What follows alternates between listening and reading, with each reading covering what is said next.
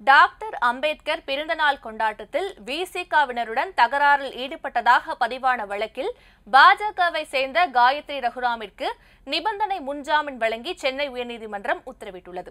April பதினான்காம் தேதி doctor Ambedkar பிறந்தநாள் விழா சென்னை கோயம்பேட்டில் கொண்டாடப்பட்ட போது விடுதலை சிறுத்தைகள் கட்சியினர் அவரது சிலைக்கு மரியாதை செலுத்தினர். அப்போது அங்கு வந்த பாஜகவை சேர்ந்தவர்கள் விசிக தலைவர் திருமாவளவன் குறித்து விமர்சித்ததாக இரு கட்சியினருக்கும் இடையே தகராறு ஏற்பட்டது.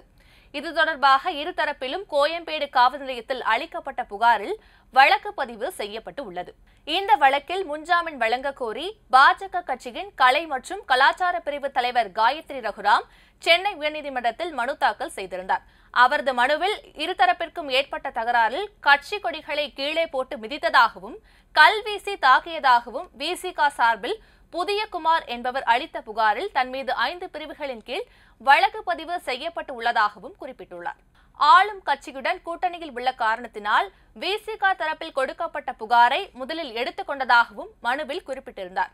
இந்த தகராறு குறித்து முதல் தகவல் அறிக்கையில் விடுதலை சிறுத்தைகள் கட்சி சார்பில் கூறப்பட்டுள்ள அனைத்தும் உண்மைக்கு எதிரானது என குறிப்பிட்டுள்ளார்.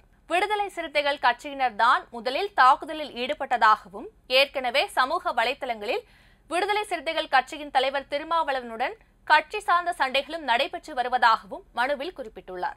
இந்த மனுவை விசாரித்த நீதிபதி ஜெயச்சந்திரன் முப்பது நாட்களுக்கு விசாரணை அதிகாரி முன்பு தினமும் ஆஜராக வேண்டுமென்ற நிபந்தனையுடன் காயத்ரி ரகுராமிற்கு முன்ஜாமீன் வழங்கி உத்தரவிட்டுள்ளார்.